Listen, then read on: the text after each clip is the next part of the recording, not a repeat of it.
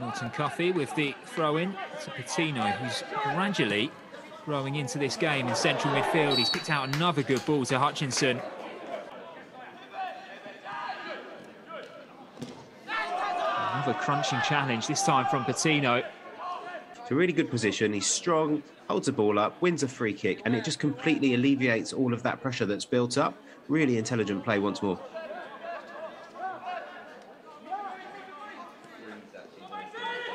Arsenal take it quickly. Another incident there of uh, shirt pulling. This time it's Scott Banks holding back Patino. Arsenal go short again. Here's Azeez. A clip one in behind for Hutchinson. Patino. Managed by Banks on that far side. he Patino's Here's Banks. Well read again by the Arsenal defence. Pino just always seems to have so much space and so much time on the ball. And aiming one into the channels. Too much going on ahead of him. Azeez is able to steal it back. Azeez again. Patino back for Arsenal tonight. He can play anywhere across the line, really. We've seen him occupy left back, right back, but here's Hutchinson, who's very much on the front foot who are 3 1 down away from home are going to have to play the remaining. Things that you learn to be clever about, you learn to work on that technique of bringing down a player so it's not too obvious. But as you mentioned there, it's right. He can't have any complaints. You can't blame the referee for making that decision, and really is just a perplexing one. There he is again. Oh boy, oh boy, have they taken it. You know, we mentioned a few times, didn't we, Nick, about how brilliant challenge, regular actually for three or four players in front of the ball, so they actually had some options there, which hasn't really been the case too often since they went down to ten. So again, it's just about managing the game and managing the situation. It's quite easy to manage the game when you've got someone who's as confident in possession as Charlie Patino. You saw him there sprinting down the right-hand side, expert close control go down to nine. It's tough enough with with ten. It was actually a, a really hefty football for the Eagles. And he's got just yeah, Kevin Betsy screaming no foul. Near side as Arsenal do win the ball back fairly.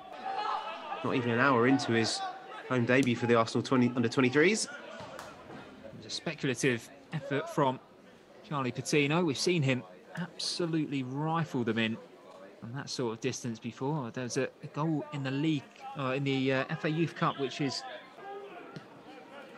Rekik into Patino. Seeing so much more of the ball now. You can see how good he is under pressure in these close quarters.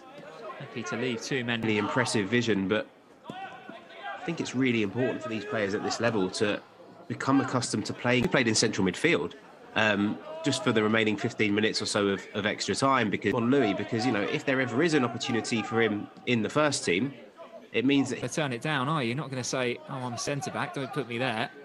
You have to adapt, and as you said, it's great that they're able to be exposed to that so early on.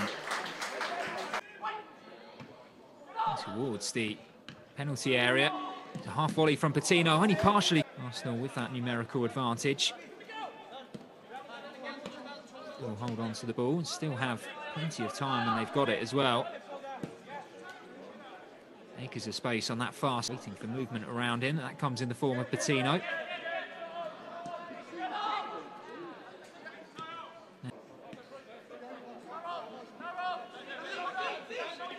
Arsenal playing really confidently now, just stroking the ball around the... Really crucial that Arsenal do manage to get these three points. They open their season up earlier this week with a, a two-all draw against Chelsea, who are the runners-up last season. So it will be a really tough test. Patino.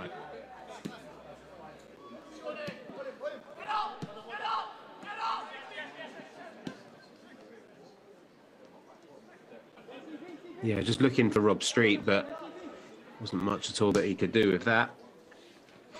Palace, of course, does really take it out of you, especially early on in the season as well. You know, as well, so crucial because, as you said, the, I think the first shot did take a deflection, which made it difficult for Gradzic. A change made in the aftermath there. End of. Was able to uh, pat it down.